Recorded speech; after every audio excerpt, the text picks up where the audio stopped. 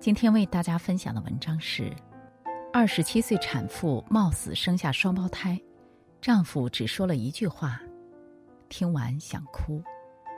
一起来听。这两天看了一部纪录片，眼睛都哭肿了。它叫《人生第一次》。这部纪录片在豆瓣上评分高达九点二分，记录了十二对中国人意义重大的人生第一次。描绘了一个人生老病死的真实图鉴。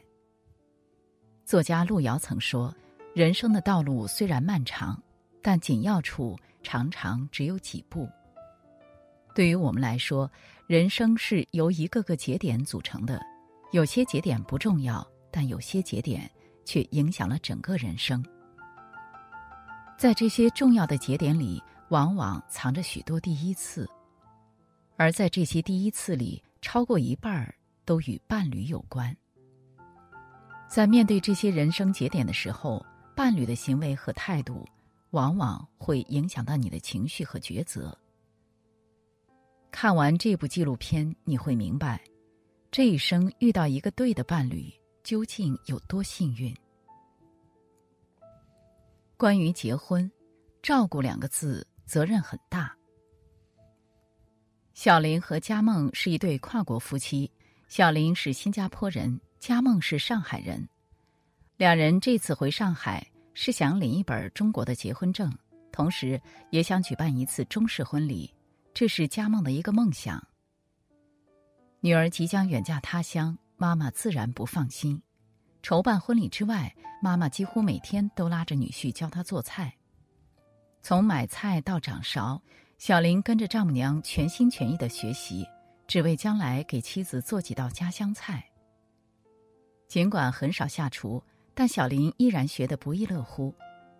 不会说中文的他，在和岳父聊天时，用蹩脚的普通话向岳父展示自己的决心。不用担心家梦，我会照顾他。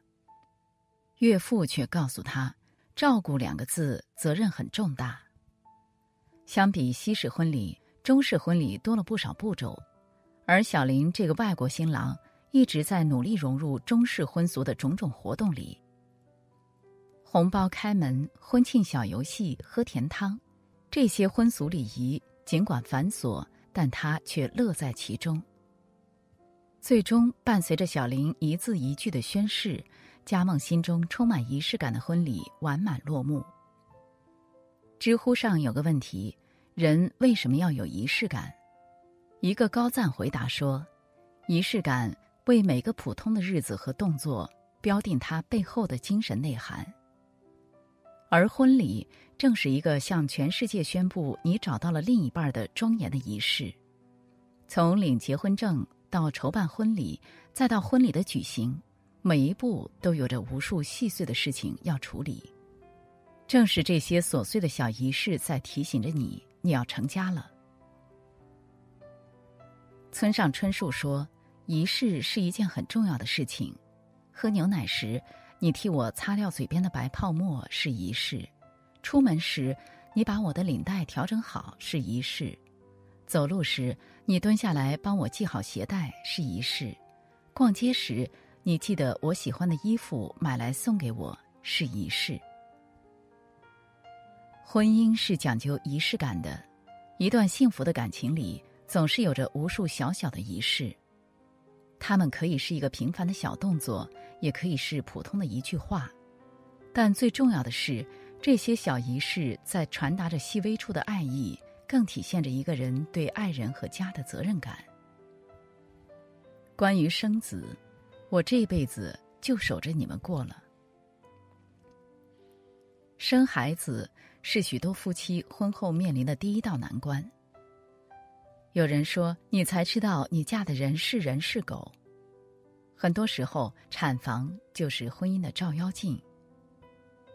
向爽是一名二十七岁的产妇，怀的是双胞胎，同时也是一名病人，患有先天性心脏病。为了治病，丈夫王翔带着她从家乡到上海一路寻医。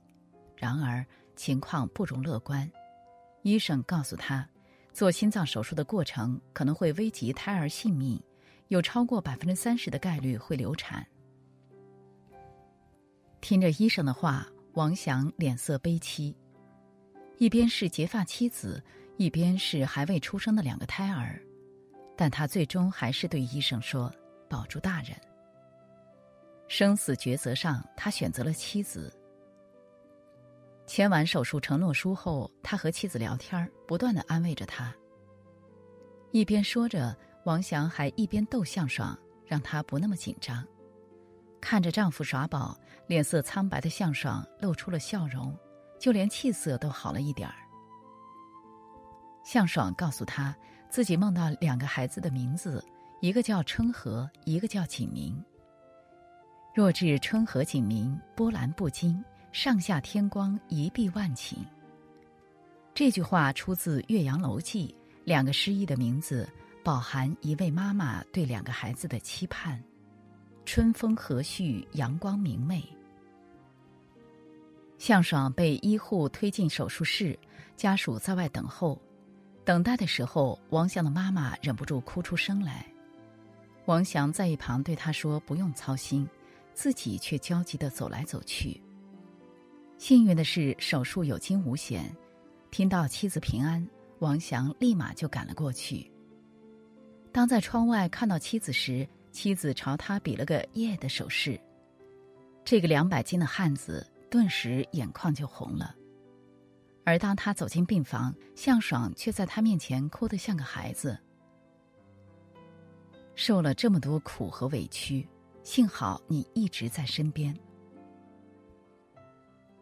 中国有句老话：“大难不死，必有后福。”一个多月后，向爽再次进入手术室。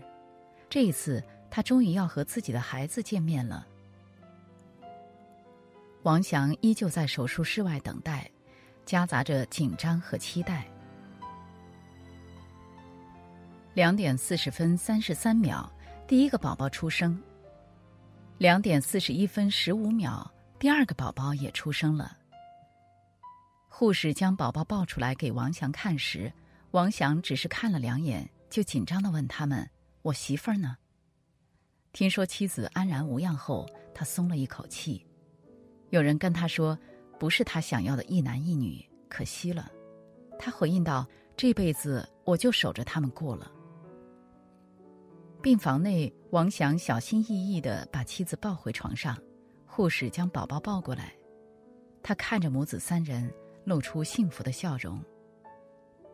人生初见春和景明，妈妈很好，爸爸很爱你们。关于生病，相识相知易，相爱相守难。如果你的伴侣在早上确诊了癌症，中午应该做什么？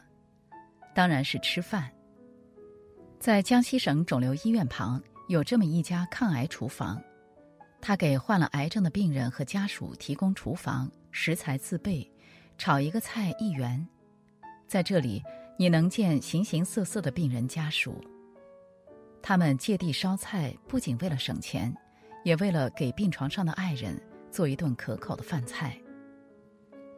老夏是这家厨房的常客，每天都会在这里给妻子炒菜。他最拿手的菜是豆腐烧鱼，妻子爱吃。他就经常做，然后一口一口的喂他。他的妻子患癌六年，他就照顾了六年。护士给妻子打针时，妻子疼得叫出了声，老夏就叫护士温柔一点。妻子听到后就笑了。妻子觉得自己拖累了他，他就安慰妻子：“我老婆是最棒的。”他也会抱怨照顾妻子很累，但却从没有放弃的念头。夫妻之间相识相知容易，相守最难也最动人。范学锦和张国胜也是经常出没在抗癌厨房的夫妻。老范得了肝肿瘤，本该静养，但他天性乐观好动，坐不住，于是就常常陪着妻子做饭。有一次，妻子把鱼煎碎了，老范就乐呵呵地说：“煎得不错。”好动的老范。在化疗结束后，喜欢四处走动，找病友唠嗑。而妻子带着刚做好的馕饼，在整个医院找他。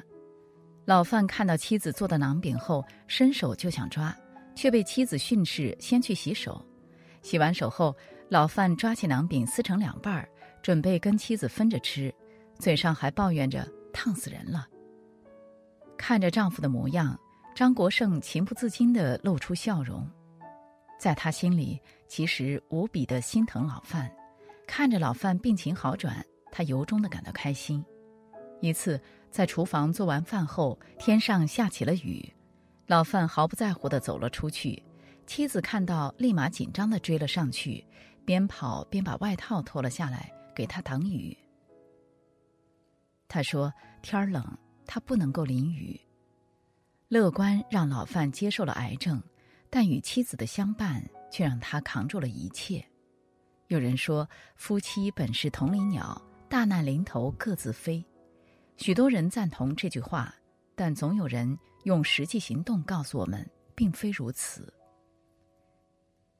幸福的婚姻不是男才女貌，不是有房有车，而是两个人能坚定的走过风雨，一起到老。人生无常，最幸福的事情莫过于与家人一起平平安安的吃顿饭。一蔬一饭一辈子，就是婚姻最令人羡慕的模样。看过这么一段对话：什么是婚姻？婚姻就是吵架冲出门之后，回来顺便买了个菜。没错，这就是许多人在婚姻里真实的境况：吵吵闹闹，却又充满烟火气。我见过很多夫妻，他们有时恩爱甜蜜，有时吵得不可开交。但在关键时候，总会站在对方身边，成为对方的支柱。正是这种对方一直在身边的感觉，才令人心安。在每个重要的人生第一次，倘若能有一个人坚定的站在你身边，那么就算面对未知和艰难，也不会茫然无措。而一起老去，不过是两个有感情的人相互扶持，走过一个又一个人生节点。关心对方，同时又被对方关心着。缘始于遇见，情长于陪伴。点个再看，愿你我此生都能得遇有情人，共度烟火人生。